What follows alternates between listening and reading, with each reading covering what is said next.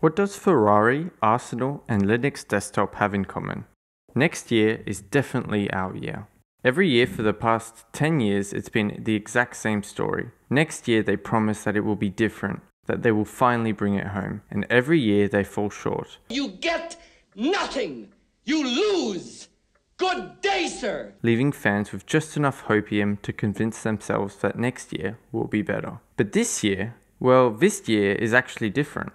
Not for Ferrari. They're doing worse than ever. They spent an ungodly amount of money to get the most successful driver of all time, and he is now consistently getting eliminated in Q1. Ferrari is not second, and not even third. They're comfortably fourth. Next year, right, guys? Not the same story for Arsenal. Liverpool have nosedived off a cliff so hard it's just uncomfortable to watch, and Arsenal have just been going from strength to strength. And for Linux Desktop, well, Valve has consistently been putting love into Linux to the point where it now outperforms Windows for the same games. And then they announced Linux hardware that completely blew the PC community away. Meanwhile, the desktop community is stronger than ever with documentation, compatibility, and ease of use at an all time high. PewDiePie regularly uploads videos discussing Linux, home labs, self hosting, and digital freedom. Linux is more popular than ever, and for good reason. People are getting fed up with Microsoft. One of the interesting projects to come out of this Linux renaissance is Omarchy, a configuration for Arch and Hyprland created by the creator of Ruby on Rails. And honestly, Omarchy is exactly what Linux needs right now. An opinionated distro with a strong community that's easy to install, well documented, and works out of the box. But it's definitely not perfect, and it has a major flaw that I think risks killing the project altogether.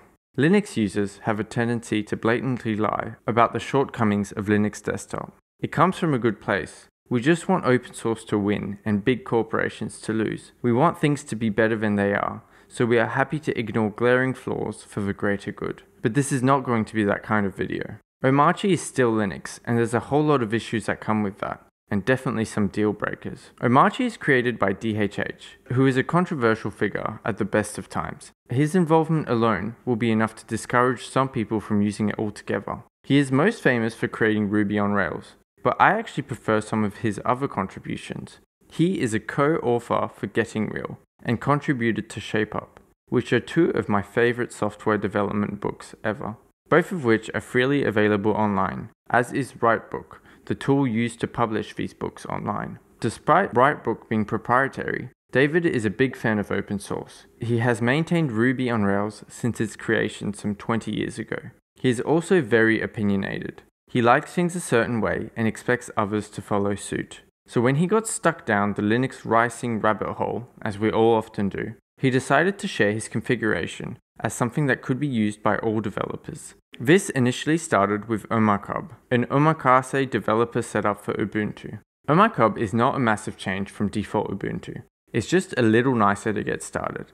It comes pre-installed with developer tools like NeoVim, VS Code, and Docker, and has some nice themes that change across the whole system. But the most important changes are the workflow ones. It has better window management that lets you use keyboard shortcuts to move between workspaces and resize windows and it has a better launcher pre-configured. It's just a nicer Ubuntu experience out of the box, which makes it easier to get started with Linux when coming from a traditional OS, while still giving you the advantages that come with switching. Omakub is simple, and definitely not revolutionary, but it can be a great option for people who want to try out Linux but don't want to deal with the configuration nightmare it can quickly become. Eventually, David realized that he needed more, and once again, as we often do, he dug deeper eventually getting lost in tiling window managers.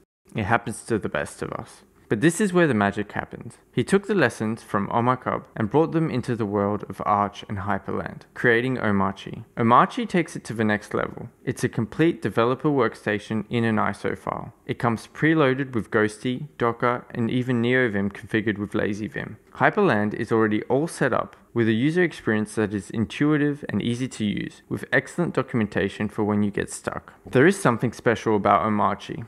Linux has always been customizable, and that's one of its greatest strengths. But even as a nerd, I get overwhelmed when I want to experiment. What distribution should I use? With what desktop environment? And which window manager? You could already make thousands of different setups with just these three decisions, and we haven't even started customizing anything yet. And now that you have your own specific permutation of dependencies, you have configured yourself out of getting any help when something goes wrong especially when the bug is an edge case that only happens with a specific set of dependencies.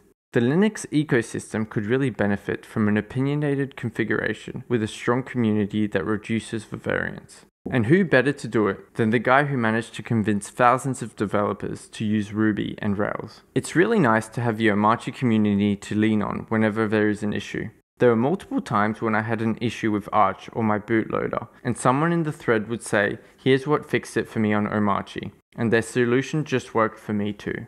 That's what's great about using something that's popular. The problem with a lot of other popular Linux distros is that they don't really do anything differently. There's definitely pushing factors, with Windows being a bloated mess of garbage and macOS being locked to hardware. But there isn't a pulling factor other than just, it's not Windows.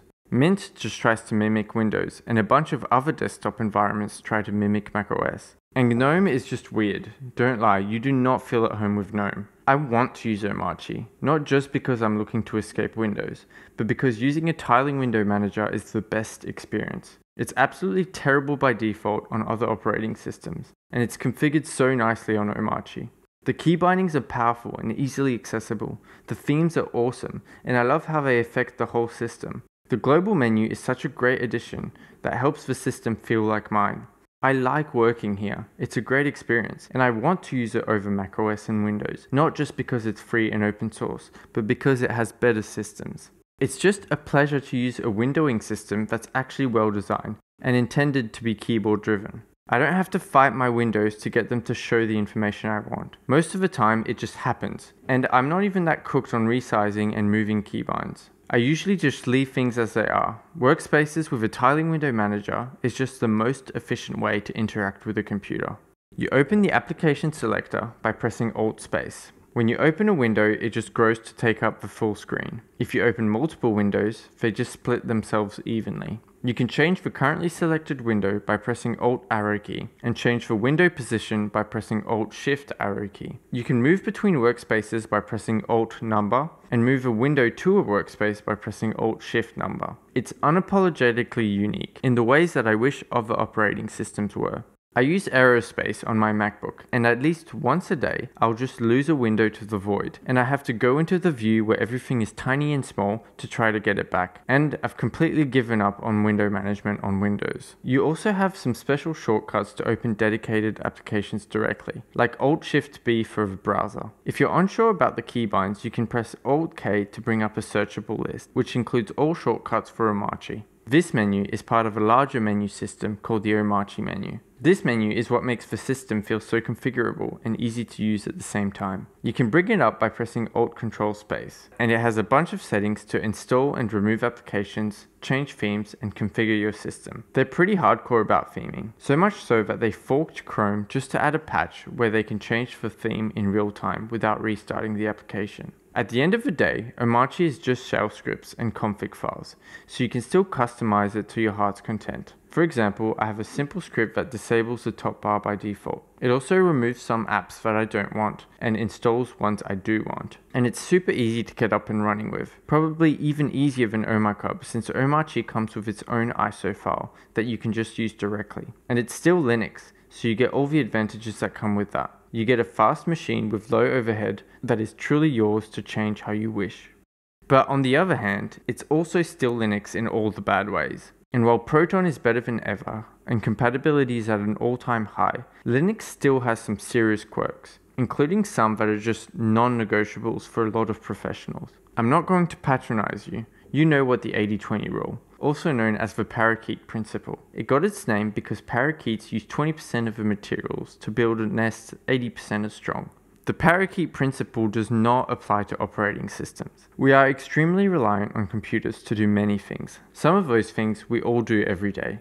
Chromebooks have shown that we can get very far with just a web browser. But even if you're not a professional in that field, there will come a time where you want to touch up a photo, edit a video, record some music, or play a game with invasive anti cheat. and depending on your use case, most of these will just not work on Linux. Being able to run 80% of the apps you need is nowhere near good enough, honestly. Musical plugins like VSTs and audio units are temperamental even through translation layers. Popular games like League of Legends or Battlefield 6 are just not playable online. None of the video editors you're used to run natively on Linux. In fact, all Adobe products are notoriously difficult to run on Linux. Many of these tools are used by people to collaborate on their work. There is always an alternative, but even then, these alternatives have you jumping through hoops that no Mac or Windows user has ever had to jump through. For example, it's not that bad that Photoshop is not available on Linux especially since Canva just bought all Affinity products and made them free to use under Affinity Studio. For Windows and Mac users, this was as simple as downloading it directly from the website. For Linux, the story is a little bit more complicated. Install Winetricks, install Lutris, download and extract the wine fork. Copy and paste the wine fork to Lutris' system directory. Download and install the script for your wine fork. Open Lutris and click the plus button on the top left corner of the window. Press install from Easy enough, right? I actually think the process might be a little bit easier now that Affinity has been free for a few weeks, but when I did it on release, this is what I had to do. And yeah, it's all following a guide, but I know people who spend 5 hours a day on the computer that still wouldn't bother with all this. This amount of work is what you can be expected to put in semi regularly just to get something running. Keeping in mind that Affinity is the alternative to Adobe, which, as far as I can tell, doesn't work at all regardless of how much time you're willing to put in. Here's another example that's not as bad but also worse somehow. Do you remember Valve, the company that I mentioned at the start of the video, who has been single-handedly revolutionizing Linux gaming? Well, Deadlock, a first-party game that they make, refused to work on my computer. After digging through many forums and trying different launch options for hours, I finally landed on this magical phrase that makes the game work properly. Omarchy has its own little quirks on top of this as well. I have a simple script I run after install that removes all the bloatware apps and replaces them with open source alternatives. But it's a bit sad that I have to do this, and for some people, especially hardcore Linux people, it will be a massive deal breaker. But there is a much bigger deal breaker that affects everyone and absolutely needs to be addressed if Omarchy is to succeed and that is stability. I don't know if you remember it like I do, but updates were different 10 to 20 years ago. Updating anything, whether it was your text editor, your operating system, or your browser, was basically a 50 50 chance that you would lose everything you've ever owned. There was this ever present fear that updating would cost you the next four hours of your life as you tried to get your files back into the right format. It hadn't occurred to me until I tried Omarchy, but things just aren't like that anymore. I run brew upgrade and I just get a bunch of new features, and small bugs that have been annoying me for days magically go away. Sometimes you get some enshittification, but if you've picked the right products, it's like Christmas every couple weeks when you get free stuff without doing anything. I say this didn't occur to me before using Omarchy because Omarchy is not like this at all. Omarchy has brought back the anxiety that I haven't felt in years, probably decades. Every update brings its own random bug, a surprisingly high number of which affect the bootloader, which means I can't even go back to the old revision to fix the issue. Omarchy has brought back the habit that boomers still have, where I just ignore all updates. Except I ran pacman update to update a package and it broke the bootloader because Omarchy needed to run its own migration to fix a regression. I just can't win. Looking at the forums and issues, it also seems like these issues affect a very large percentage of the user base. It's not like there is an update and every time a very small, vocal minority is quickly reporting bugs. No, there's an update and every single user will see hash codes instead of package names when trying to install any new programs. It's like they didn't even bother to test anything at all before pushing the update live. I'm hypothesizing here, obviously, but to me, this is another symptom of Omarchy's origin. DHH is famous for creating Ruby on Rails, which is hardly the most robust and stable piece of software ever created. Furthermore, his most successful product is Basecamp, a product management SaaS. The difference between a SaaS product and an operating system is that honestly, nobody cares if something breaks on Basecamp. Websites break all the time, and we've just learnt to live with it. If the issue is bad enough, it will usually be fixed within a few hours thanks to continuous delivery. And if the issue isn't bad enough to be fixed, you can just close the website and open another one. Taking the principles commonly used to create SaaS products and applying them to an operating system is a terrible idea. My operating system breaking in unexpected ways is just about the worst thing my computer could do. And deployments and updates are slow, so issues last enough to affect everyone using the OS. I have had so many issues whenever I've updated Omarchy. The first one was the first time I updated, where the install gave me a prompt asking to overwrite my NeoVim config. I used my own config, so I chose no, and the update stopped without completing any of the other steps and left my computer in a broken state. I could barely boot back into the system. People online said they just fixed it by reinstalling from scratch which I'm sorry, but that's not a solution. I had to dig into the source code to find the commands that Omarchy runs to update and manually run them to finish the update properly. The second update was the one where updating my packages caused the bootloader to reset its config. Once again, I could barely get into the system and I had to manually rewrite the bootloader config to boot from the right files. After that, I just stopped updating. Although it must have automatically updated, because a few days after I saw it all over the forums, I encountered the issue where all the package names were hashes, so I couldn't install the package I wanted to install. Omarchy really is special, and it will remain my daily driver for the foreseeable future. I believe in the project, and I think it will succeed. Linux desktop is better than ever, and comparing like for like, I enjoy using Omarchy more than I do Windows, even despite all its flaws. It just took me booting back into Windows to find an Xbox advertisement on the lock screen and then being held hostage with a Windows 11 update to remind me why I hate this so much. But I will keep a spare Windows hard drive around in case I need to dual boot, because chances are I will.